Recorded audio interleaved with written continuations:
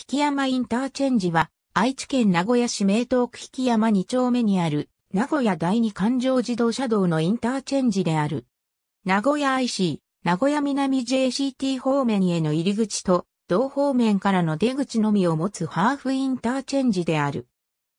この IC から清須 JCT、名古屋西 JCT 方面へは行くことはできず、同方面からの本線流出もできないことから、流出入にあたっては、隣の大森インターチェンジを利用する。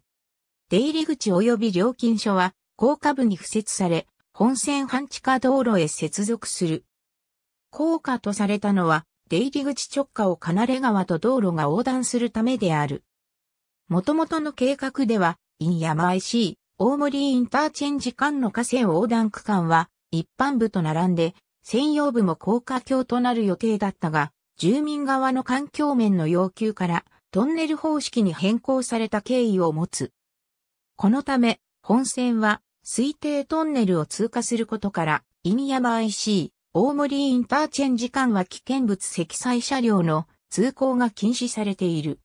なお、出入り口の分合流部は、名東トンネルの南側となることから、規制対象車両はインヤマ IC で出入りすることになる。